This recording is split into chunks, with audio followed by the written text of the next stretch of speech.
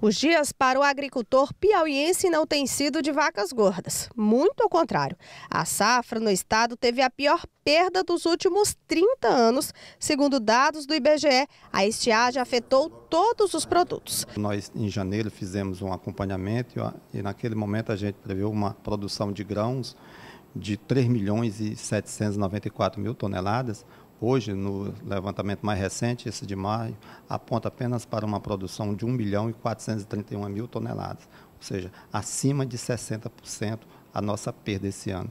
Com uma produção bem abaixo do esperado e sem previsão de melhorias, o homem do campo já começa a recorrer aos carros-pipas. Outra saída é a perfuração de poços artesianos para amenizar a estiagem. Nós da FETAG lamenta é que todo ano nesse mês virou data básica da gente estar tá cobrando carro-pipa, a gente está pro, cobrando programas emergencial. E nós defendemos, a FETAG defende né, para os 224 municípios do estado do Piauí, é política de sustentabilidade, ou seja, políticas estruturantes para que as pessoas saiam dessa dependência é, dessas políticas assistenciais e paliativas. Se tivesse programa de perfurar poços para ter água suficiente para o agricultor, isso já era uma saída porque é, onde há água há vida.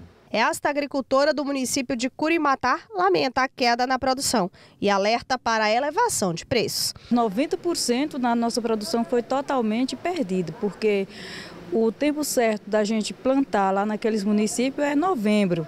E quando veio chover foi em janeiro. Não uma chuva que desse assim tranquilidade para os agricultores estarem plantando naquele momento. Porque em janeiro para a gente é uma época em que a gente já tem, às vezes já está colhendo feijão. A essa altura já tem feijão o, o, prato, como a gente compra lá, já é 20 reais o prato. No, nesse mês que nós estamos, em junho, a, imagine setembro, outubro, novembro, como, como é que a gente vai estar a situação.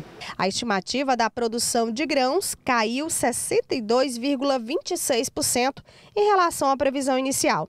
E os produtos mais afetados foram a soja, o milho, o arroz e o feijão. Este ano a nossa produção vai, de certa forma, foi uma frustração e agora esperar, naturalmente, que nos outros anos a gente não tenha essas intempéries né, que venham prejudicar a nossa agricultura, porque, conforme já falamos, já está praticamente consolidada. E a nossa agricultura é, irrigada que é mínima no Estado, representa em torno de 2, 3% apenas da nossa produção, portanto, não é expressiva em relação para a gente ter uma boa recuperação.